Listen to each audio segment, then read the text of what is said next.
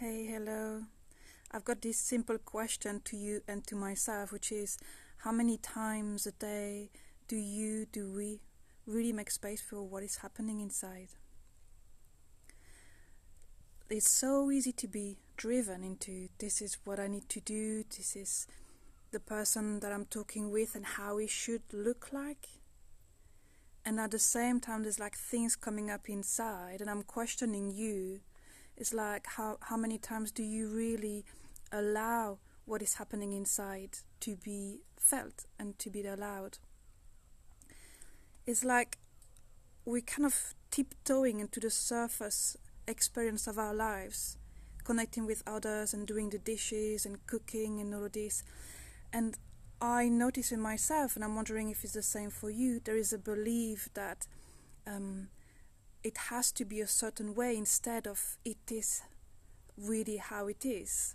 So if, for example, I'm cooking and I'm feeling tender or angry all this, there is like a voice on my comment says it shouldn't be like this, and and so it's like there's a tension about it. I'm angry. I shouldn't be angry, and and there's like a story that happens, and lots of energy is created with this, instead of just feeling I'm feeling angry and to allow ourselves to feel it. What is it? What am I angry about? And what is behind it? What is my need?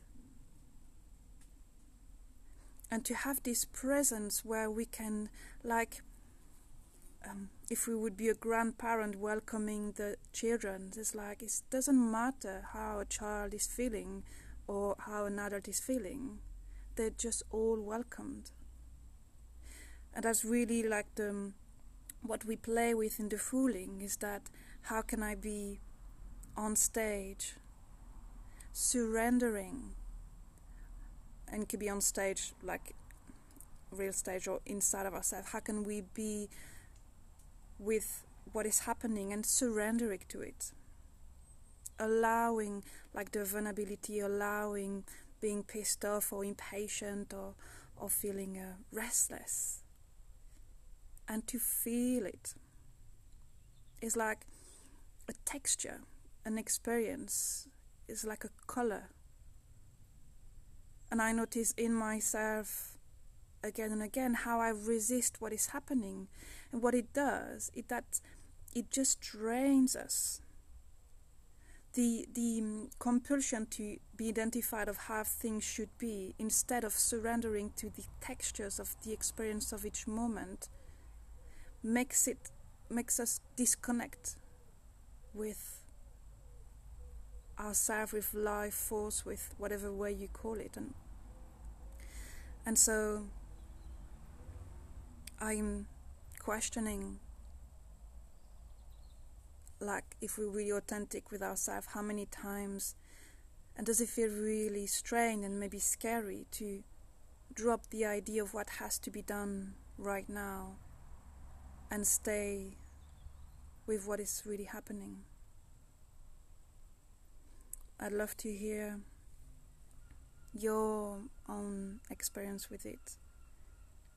And I did this video just now because I was feeling nervous.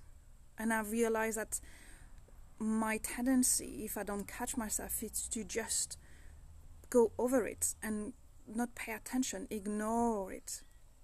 And when I stayed with the nervousness, there was this sweet tenderness that is beautiful, even though if part of me is scared to stay with it. And as I stayed with it, then it just disappeared. It's like a completion. It's like a child that is scared and has the adults to come in the arms and just feel whatever is feeling, and then up, out, is gone again feeling reassured.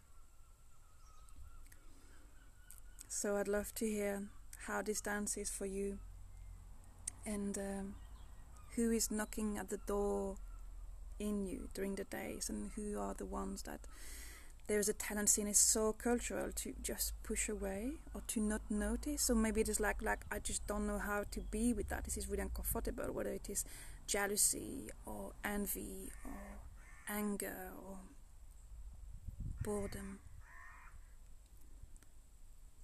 Hmm.